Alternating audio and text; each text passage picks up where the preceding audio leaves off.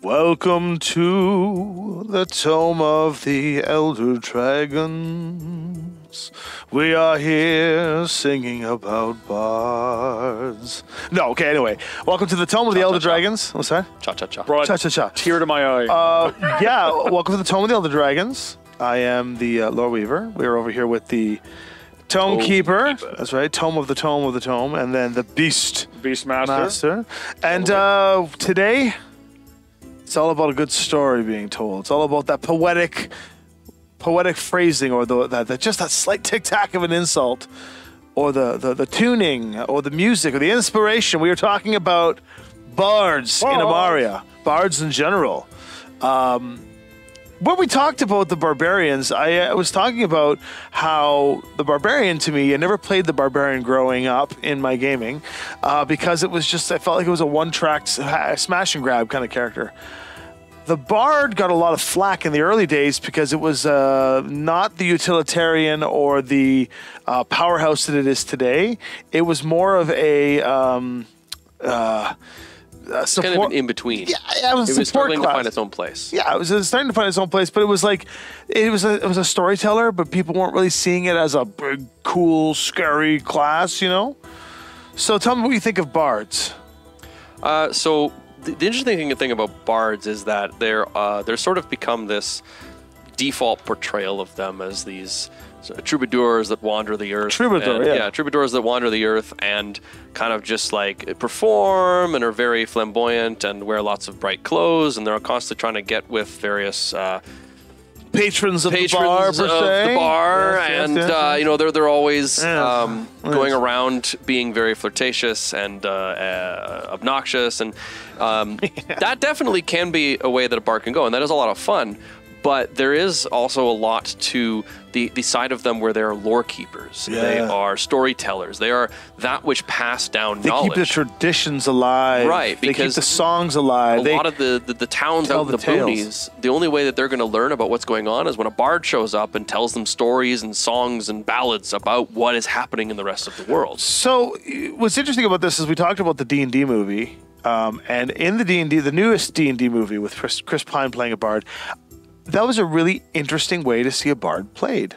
Because the he, a lot of the times he was always like, "Come on, guys, come on!" Like he was like the inspiration. He was always like changing moods. Like just he'd sing a little song when the barbarian was down, and all of a sudden the barbarian is feeling better about things. And so, and and not just that, but bards can also be quite deadly. Yeah, I mean, uh, speaking from like you know mechanically speaking, bards are uh, a kind of jack of all trades. Literally. all, all, all puns to the to the feature there. Uh, class that can do a little bit of everything, but um, I have always thought of them as a spellcaster who's good at interacting with various ability checks, good at finding out little bits and bobs when it comes to lore and otherwise. But as always, bards are some of the most versatile of, of the classes in my opinion, and I love them for that. You can you can quite literally via subclasses and otherwise play a bard that is pretty much the most uniquely craftable and customizable Yes. thing. It could be any kind of thing under the sun, and I adore that because the the stereotypes of bards are as far-reaching on the internet as you can possibly look, but they are also some of the most limiting because all of the bards that I have seen uh, played amongst many friend groups, amongst people at conventions, Yeah. people at uh, you know uh, uh, uh, live games are some of the most interesting characters I've ever seen, and rare to never fall into these sort of uh, um, thematic ruts, so to speak, as as just They're the, definitely- the, the wandering muse troubadour that La, has la, la, always la. got a twirly mustache and playing the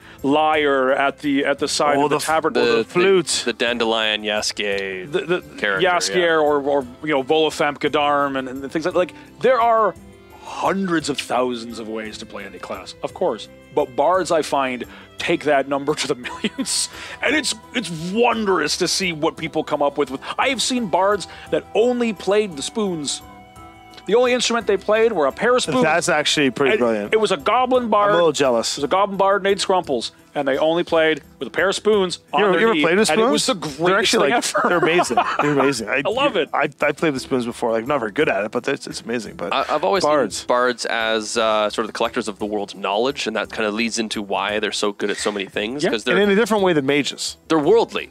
They, they, Yeah. They've learned things by traveling so much, by exploring different cultures and talking to different people, seeing gathering stories, seeing things. Indiana Jones, actually, I think, would be a bard because of just how Yeah. worldly and experienced and just Honestly, good at Oh many my things he god! is. I've never looked Right? at Indiana Jones so, a bard. You know, when you when you think about Honestly, bards, that's the kind of thing. He's a professor. He knows a lot about various subjects. He's very good at athletics, but also at like acrobatic kind of thing. he knows it. Yeah, He's very charismatic when he needs to be. Like that is a bard. sleeps with someone every film. I mean, yeah, you know, you can throw that in there, but like, James Bond would be another And we're kind back of good to the example. of- yeah, James Bond, the right? bard. Yeah.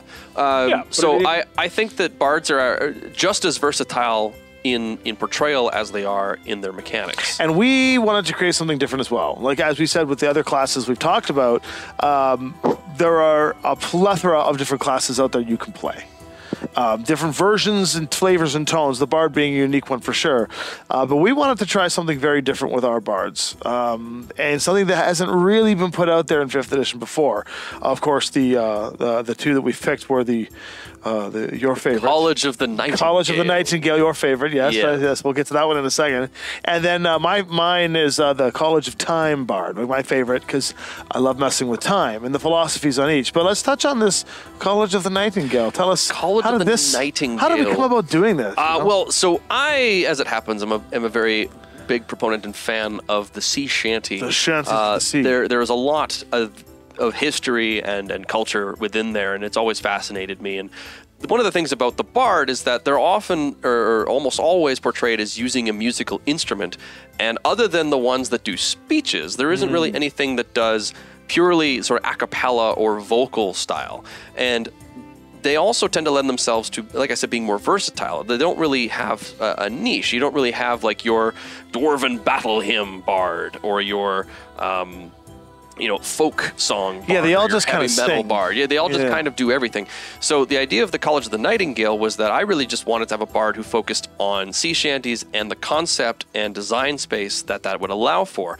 Uh, sea shanties are a type of music that is designed to help keep timing and momentum going in a ship crew as they accomplish various tasks. Mm-hmm. And so we kind of took that idea and said, well, okay, well, how could we apply that to an adventuring party? brilliant. And the idea was if we take their bardic inspiration and allow it to be more of a communal thing, so they can split the die out into D4s or put it in a pool in the table, and then while they maintain their singing, anybody who then needs it can grab it at the t- at the time rather than giving it to somebody and then Love having it uh, not be used. adore that mechanic beyond like And it's actually what the measure- functional, you know? Uh, it's it's really handy. I mean, I I personally having seen uh, a few players uh, uh, do some playtests with the uh, the Nightingale, Nightingale Bard, the the creativity in having a communal inspiration die and just saying, "All right, the four of you, take it when you need it."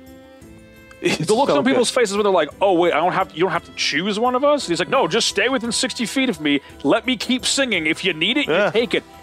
It- There, there was just something magical at, at watching people go, "Oh, Yeah, yeah, and then wonderful, thank When- you." And when you get someone like when you get someone like Mark Meir or you or Oh, anybody that actually can sing a, a shanty that has them like almost like on repertoire like Sam, and you guys are starting to sing these shanties. Hey, hey, hey, and everyone's singing along at the table, and you're like, oh my god! And then people are just grabbing gets- D4s and rolling it, and it just changes the entire game. I can't play. forget the. Uh, can't forget also. Uh, Wondrous boon to them. They can learn a few different kinds of uh, druid spells. Yeah, well, I- we wanted to give Ah, yeah. them access to spells that control water and air because the idea is you're probably going to be on a ship a lot of the time and you should have some level of control. And there's something thematic about singing songs of the sea to then manipulate the sea and the sort of the themes around it. Hmm. And and I, I really enjoy being able to kind of go through a bunch of sea shanties and like underline certain parts of it and say, Love okay, when I cast this spell, I'm going to sing this part of the shanty, and that there's something really, just kind of you, you really just feel like you're really getting, getting thrown into the world and the environment. You were talking about so Adam. You were talking about um, how you loved the the D four split down and how and how it's a communal pool and how people behave. I think that that outside of the box thinking is what makes this bard unique compared to many other bards in the world, and that is part of our de- uh, design philosophy here in Imaria, which leads us to our College of Time bard. yeah, the- because this one is, I think. Really off the beaten path, like right off the the beaten That path. it is. the, the, the College of Time. Uh, so, preface is that um, time manipulation is a big thing in Imaria due to various uh, aspects. And it's of not magical. World building. It's That's magic- what's important. Well, magic it's, it's can magical, but it time. is sort of magic adjacent. Yes. Um, in it, the way we try to approach any type of chronomancy or, or time magic is we want it to feel like you are manipulating time without getting into the like real problems of Yeah. what can happen and how things can get out of control and it's way too powerful and there's all this other Old school so it- yeah so it's these, it's these little Yeah. things you can Yeah. do that are very very tiny adjustments that can have big profound impacts if used in the right time with So- the right timing. Timing, yes, exactly. Hey-oh. so with the College of Time. Bard, I was, I was going to do the same. No, I love it. With the Uh, College of Time Bard, uh, they can use their Bardic Inspiration die to manipulate initiative or the casting of spells. Yeah, so let's This is your favorite thing. Yeah, so let's talk. So, call to action is the initiative shift, and the initiative is, is a construct of time in real life. It is. It is an order in which we watch the flow of action. Uh, take effect on the battlefield. In essence, it's all in one six second spurt anyway, but it is it is still a f- an actual flow of time. And so, by manipulating that flow of time with your bardic inspiration, you can literally roll your inspiration to increase or decrease subjects on the initiative track. The the construct being that wherever you are in the initiative, the, the people that have gone before you are in the past, and the people that will be going ahead of you are the future. And so, by grabbing a subject from the past or a subject from the future and rolling your initiative or rolling your bardic inspiration and modifying their role on that chart, you're either bringing them below you, in which case you are putting them into the past and removing their future economy, or you're bringing them from the past to the future after they've done what they've done and giving them a second round of economy, which is seems like it could be super busted, but really it's not. No, I mean, in, in and obviously, much like all you know, uh, great things within the, the, the system, it still involves rolling dice. Yes, so And, I mean, you could fail. There, right? there's a chance that you know you roll two, The and, dice and you know giveth what? and they taketh away. Exactly, and well, maybe that maybe that won't let you have one of your you know enemies skip their turn this round because two's not enough, but it also might let your friend go just a bit above them to sneak in one little final thing to Which finish off crucial. an enemy just just before you know just before before they go. So it's all it's got a lot of great yeah, legendary action, and get rid of use all that. It's not that different than a normal use of bardic inspiration, where you're like, "Oh man, I really need like an extra two or three on this to hit," and you still roll a one. Like, it, you Yeah. know, it, it's not that much different, Yeah. and so it follows Chance- the same balance. chance makes things fun because it makes things uncertain. And then there's the the call to aptitude, which is where we really play with spellcrafting. Oh, yeah. And this could be this, great. this has been this has been previously discussed as like it could be abusable, and we've seen situations where it's not abusable to the end game, but it is definitely a change in your thought process. And some people who play Magic users who have played this before, who have given bardic inspiration to it and explain what they can do, they still don't grok the concept. Other people get it immediately. Like when Luke Gygax got it, mm-hmm. he immediately knew exactly when and how to use that to enhance his turn to be a maximum alpha striker against the boss. And so uh, call to aptitude is that you can take the bardic inspiration and you have to remove the idea that it's a die you roll. It's the die itself that is the inspiration. point. It's a point. And when you spend the inspiration, you literally just spend the point to increase. Should have made it also decrease. So that's the. This is how we design and increase the uh, casting time of a spell. And and fifth edition has casting times. What are the casting times? It's Uh, you have a reaction, bonus action, action, or minute, and then on. And- Yeah. and then all, all the way that. up to like 24 hours. That's right. And so and so this is your all the way up to 24 hours goes down to a minute. Your minute goes to an action. Your action goes to a bonus action. Bonus action goes to a reaction, and reaction just does it just repeats itself because it's as fast as you can go. So bonus action being healing word with this with this special uh, time manipulation device or uh, inspiration. When you spend it, you can now healing word at reaction speed. Now I'll let you think about that for a second. Who's listening and watching?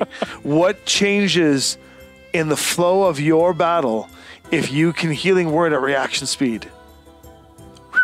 It's not broken. It's just It's a bit of a changer. It's, It's a bit of a finite. change. And I mean, there's even occasions you could fire off a bunch of fireballs in the same round if you've got a quick and sorcerer, but that's okay. Then you have no more fireballs left and you're completely drained, and that's the first fight. Yeah, and it's, it's still going to follow the, the, the rules of, uh, of of spellcasting to you know to a degree, but like i i even even with the rules of spellcasting of you know you you know you have to make sure well, at least one spell is a cantrip and then and the other is a leveled spell. That applies for actions and bonus actions. Interesting thing, it doesn't exactly for reactions. Yep. So you can do something very interesting like That's a right. reaction healing word somewhere someone Bonus action. use your bonus where- action to you know call up a call up a shillelagh or something then use your action to uh, cast like a like a fireball and that technically could all be in one single round which yeah it does get a bit nutty however you are using up was gonna that's a bardic very expensive inspirations. round. It, you're using up bardic inspirations that you could be giving to people to increase their chances of hitting or doing a saving throw or an ability check and instead you are using that to cause this Right, uh, this, this speed up of, of, of spellcasting, which uh, even even through uh, all of our testing, it gets wacky, but it doesn't ever, It's not in my mind at least, doesn't ever get to a point where you're like, this is busted. It just gets really intriguing at the possibilities of what You you can do. feel like you're actually manipulating time. Yeah. And then speaking of, we should talk quickly a bit about uh, charming, chrono charm.